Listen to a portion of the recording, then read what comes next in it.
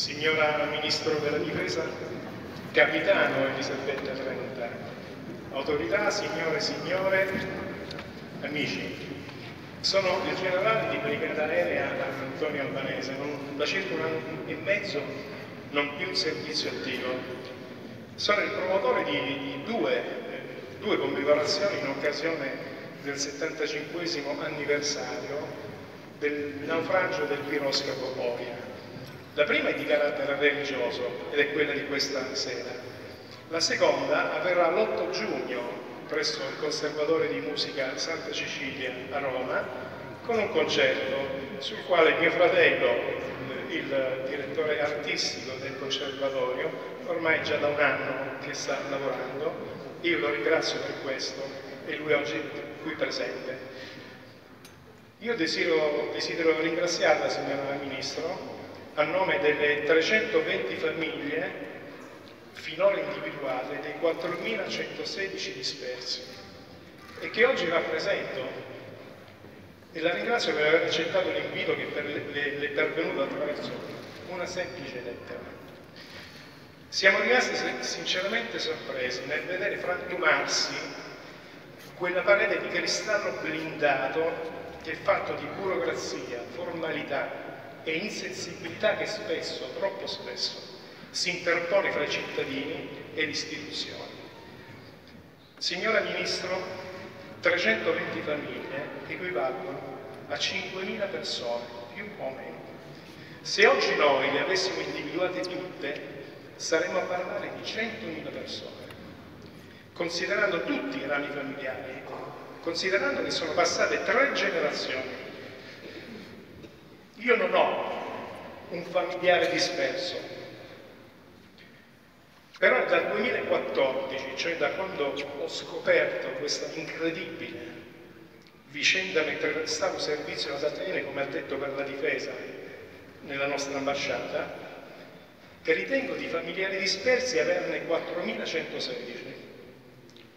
Per questo che da allora sostengo la cosiddetta rete dei familiari dei dispersi nel naufragio del piroscafo Oria. Rete che è nata spontaneamente grazie all'iniziativa di un familiare che ne ha incontrati altri impegnati nella stessa ricerca sulla rete. Ha approfondito le ricerche fino a scoprire dell'esistenza dell'elenco dei nominativi di quei soldati imbarcati e che fino a quel momento erano considerati svaniti nel nulla, dispersi. Elenco che, seppur redatto in epoca leggermente successiva, cioè nel 1946, è rimasto dimenticato nel buio degli scaffali più dimenticati degli archivi. Adesso i familiari hanno acceso una candela nel buio che pian piano sta diventando più, più luminosa. Peraltro hanno contribuito al ritrovamento della lista d'imbarco di un altro piroscafo, il Donizetti, che ha fondato nel Mare Egeo per un totale di circa 7.000 nomi di soldati dispersi.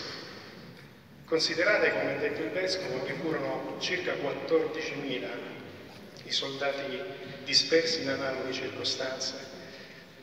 Questa, questa celebrazione eucaristica oggi ha un doppio valore. In primis perché è la prima volta è la prima volta in 75 anni che viene organizzata in Italia una messa in suffragio delle vittime del più grave disastro marittimo della storia del Mediterraneo ed il terzo disastro in genere della storia d'Italia dal 1900 ad oggi.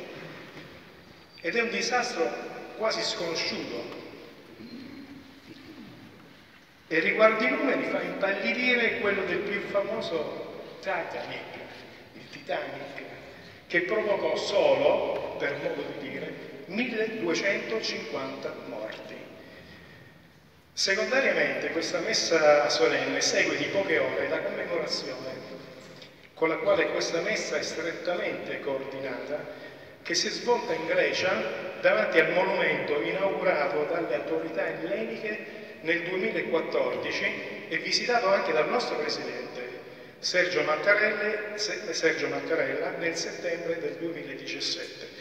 La cerimonia di oggi, pensate, è stata presieduta dal Presidente della Repubblica Ellenica, Prokopis Pavlopoulos, e alla quale ha partecipato una delegazione proveniente dall'Italia di 51 familiari. Mi limito soltanto ai ringraziamenti e una brevissima considerazione perché ovviamente è impossibile riassumere in pochi minuti una storia che dura da 75 anni, o meglio, 4116 storie di dolore, sofferenza, disagi, attese, interrogativi, speranze. Però prima vorrei fare appello alla vostra sensibilità, quella di tutti voi, perché troviamo una finestra di tempo nella vostra giornata per andare a curiosare sul sito internet della rete dei familiari www.piroscafooria.it che troverete nei pieghevoli che vi prego di portare a casa come memorandum, solo per soddisfare la curiosità di verificare se fra quei 4.200 nomi ordinati alfabeticamente compare un vostro omonimo oppure quello di un vostro conoscente e stimolare anche il i vostri vicini di casa a fare altrettanto. Desidero di ringraziare quindi innanzitutto Sua Eccellenza Reverendissima Monsignor Vincenzo Avicella, il nostro sindaco, il Vescovo della Diocesi di Velletri Segni, per aver sostenuto questa iniziativa. Desidero ringraziare il generale di Corpo d'Armata dell'Arma dei Carabinieri da un mese eh, in pensione, Antonio Ricciardi, e il coro polifonico Salvo d'Acquisto del quale ne è il fondatore e il presidente onorario. Il comune di Velletri per il patrocinio offerto e in particolare l'assessore Edoardo Menicocci con il quale mi sono più volte relazionato, grazie, nelle ultime settimane.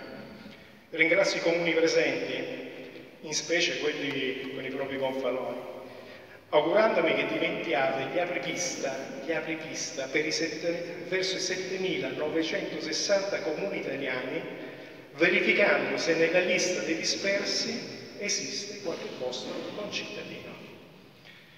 Un sentito ringraziamento a Padre Luke, Padre Luke John Gregory, che è il vicario generale dell'Arcidiocesi di Rodi, in Grecia, da dove l'11 febbraio del 1944 il piroscatoria salvò. La sua presenza quindi è molto simbolica e significativa. Grazie Padre Luca. Ringrazio tutti gli uomini in uniforme, oggi qui presenti, permettetemi di nominare soltanto uno, che è l'addetto per la difesa presso l'ambasciata di Romania e fratello amico, il colonnello Julian Barbo. Le associazioni combattentistiche d'arma, grazie a cui chiedo di pubblicare nella home page dei vostri siti internet un link che rilanci a quello della rete dei familiari, come già fatto da Caduti, come fatto anche dall'ambasciata d'Italia in Uruguay, perché noi ne escludiamo che alcuni parenti siano immigrati all'estero. Difatti abbiamo trovato qualcuno in Canada, qualcuno negli Stati Uniti, altri in Svizzera. Fra tutte le associazioni però fatemi nominare quella che è venuta da più lontano, cioè la sezione dell'Associazione Nazionale Reduci Prigionia intitolata a Rollo Libertario, un disperso dell'Oria, proveniente da Veglie in provincia di Lecce. Ringrazio un caro amico, Giovanni Pietro Liuzzi, colonnello dell'esercito in riserva, presidente del comitato caduti di Kos, altra drammatica vicenda strettamente collegata con quella dell'Oria e che ho aiutato nel 2015 a rompere quella famosa parete di cristallo di cui vi ho parlato prima, per realizzare un progetto che per lui era diventato una questione di vita, cioè l'individuazione delle fosse comuni dove erano stati sepolti parte di quei 103 ufficiali italiani trucidati dai tedeschi fra il 4 e il 6 ottobre del 1943 e per essersi a loro opposti. E c'è l'uscita. Chissà quanti, quanti, di quei soldati che furono testimoni di, di quell'eccidio eh, si trovavano a bordo, a bordo dell'Orient. Ringrazio una persona per me speciale, si chiama Fabio Capitanucci, che viene da Perugia ed è il pronipote di uno dei 2670 dispersi nel naufragio di un altro pirosca, il Petrella, il secondo più grave disastro della storia del Mediterraneo ed anche alle cui vittime è stata dedicata questa messa solenne. E lui, e lui, che con spontaneità, con fiducia, mi ha trasmesso i veri sentimenti, i dolori, le speranze, le attese di chi ha avuto un padre, un fratello, un marito disperso in guerra e ancora una ferita aperta e mi ha trasmesso quella convinzione e la determinazione per gettarmi a capofitto in questa causa.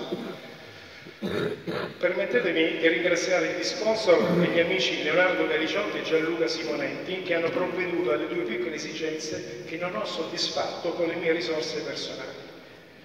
Ho lasciato volutamente per ultimo i familiari dei dispersi, alcuni dei, quali qua presente, presenti ed è presente anche un familiare di uno dei 36, dei 36 sopravvissuti.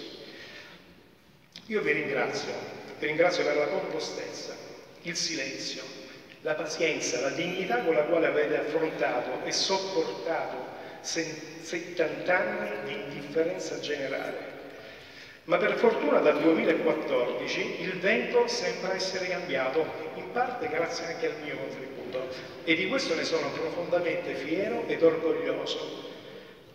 Io vi ringrazio per l'impegno profuso nel tentativo di fare riemergere il relitto del piroscafo Oria, non solo con l'anima del vostro familiare, ma con tutte le 4.116 anime. Da quando è stato individuato ormai da un caro amico, lo posso chiamare, nel 2009, un sub greco, Aristotelis Zerbudis, che molti voi conoscono di persona. Voi non rivendicate nulla, non nutrite risentimenti, non cercate la gloria. Vi muovete solo per il semplice altruismo, per far smettere di soffrire coloro che da 75 anni ancora aspettano e sperano in una risposta alla domanda chissà dov'è. Noi della rete dei familiari considereremo conclusa la nostra missione solo quando tutte, dico tutte le famiglie saranno individuate.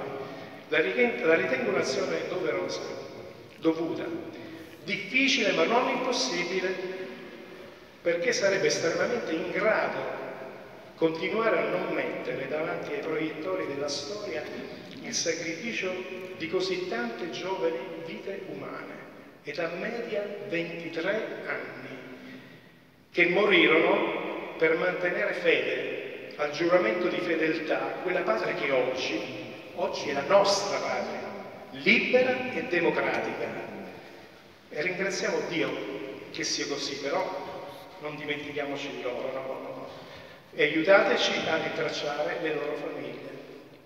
Io sto cercando di farlo, perché sento forte il dovere da, da cristiano, da cittadino, da soldato e da patriota Fatelo anche voi, non costa veramente nulla. Grazie.